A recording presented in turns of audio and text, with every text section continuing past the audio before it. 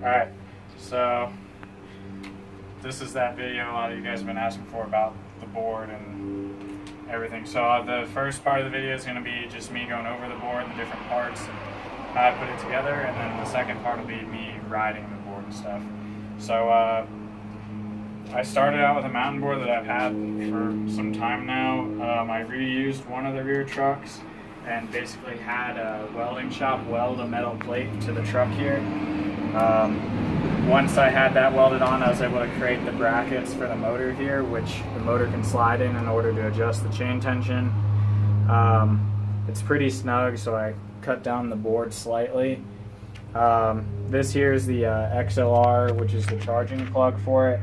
Um, yeah, that's a light switch right now for the main power because the uh, power switch I had was causing it to trip the low voltage sensor, so I'm uh, I'm temporarily using this switch till I get the other switch in. Um, so this here is the 36 volt, uh, 650 watt motor. Um, this runs from an 11 tooth sprocket to a uh, 47 tooth sprocket. Um, this is the motor controller for it, which runs from a, a six wire throttle cable that's a uh, got Hall effect sensors to know like how fast the motor's RPM is going and what positions it in, all that stuff. So um, that way it makes transitioning while you're moving from coasting to accelerating smoother. It also makes accelerating uh, like the throttle a lot smoother.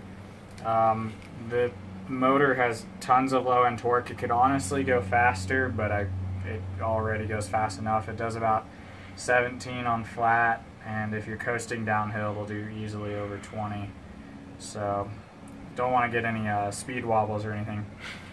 But so simple turning is you know you lean on the board and I mean trucks move and everything.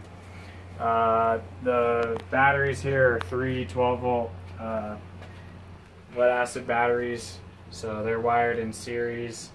Um, they're 15 amp hours each, which are extended duration. So yesterday I was able to ride it for 45 miles or more, and before it hit the low light. Um, bindings to put your feet in. On the front, I got the uh, MBS Vector Pro, which is a titanium alloy truck that's got a twin kingpin in it.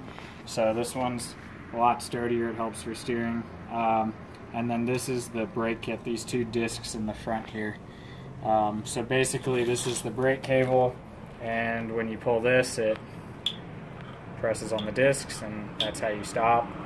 Um, throttle cable is pretty ghetto right now because I bought a thumb throttle, but it wasn't actually uh, compatible with the six wire since it was only a four. But basically, when you turn it on, it tells you your power and then your battery amount, and it's just a simple. You just push it with your thumb, and that's how you go. So it's a variable speed throttle. Um, and then the hardest part of the board towards the back is actually adapting the the wheel has a five lug on it, and the sprocket was a three lug, so I had to machine this aluminum plate on a lathe um, in order to adapt it from the five lug to the three, but now it's perfect. So uh, that's the overview of the board, and now we'll take some videos of me riding it. In order to get on the board, all you do is you hold the front brake, which keeps the board steady so it's easier to get into the bindings. So once you're in the bindings, turn it on, power's on, on the battery, and then you just really ease into the throttle because it's got a lot of a lot of torque to it. But there it goes.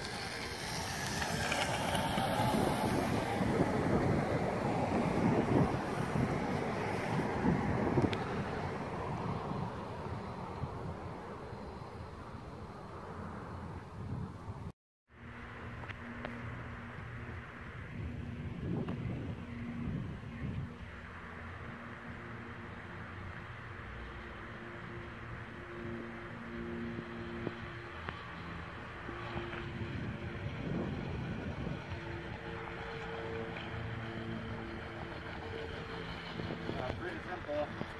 Um, brakes to and turn. Pretty awesome.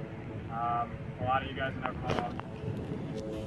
I'm sure I'll be riding it to car meets and shit at school. So I'll see you guys then. Take it easy.